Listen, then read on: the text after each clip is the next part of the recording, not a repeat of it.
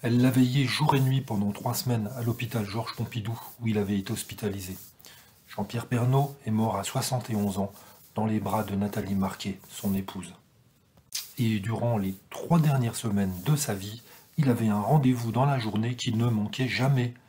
Il avait en effet demandé à Nathalie d'allumer la télévision dans sa chambre chaque soir à 19h10.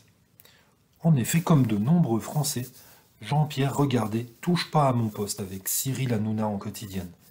L'animateur de C8 a confié mercredi soir. Parce qu'il avait envie de regarder, on le faisait marrer. Et c'est vrai que lui aussi, il nous faisait marrer.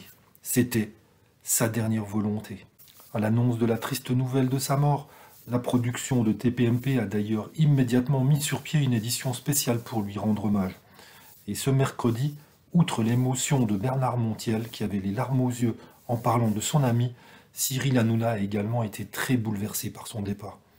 Il a adressé à ses fans au cours de l'émission On l'aimait très très très fort, Jean-Pierre. Il va nous manquer.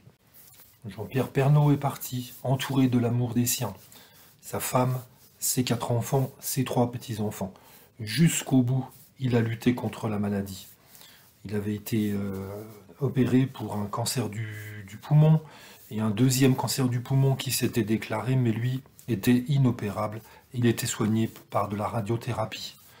Ensuite, il y avait eu des, AVC et puis une opération à cœur ouvert euh, dont il avait eu du mal à se remettre et qui s'était aggravée. Ensuite, il avait été plongé dans le, coma et malheureusement, il ne s'est pas réveillé. Jusqu'au bout, il a lutté, il s'est montré très courageux. En tout cas, c'est ce qu'a déclaré Nathalie Barquet, qui est, venue à TF1 expliquer les derniers jours euh, du présentateur, de son mari beaucoup de, beaucoup de courage, beaucoup d'humilité. Et à l'image de Jean-Pierre, il s'est battu, il n'a rien lâché. Euh, on regrette vraiment euh, qu'il soit parti aussi vite. Et malgré ses ennuis de santé, on espérait qu'il s'en sortirait. Euh, la maladie l'a rattrapé.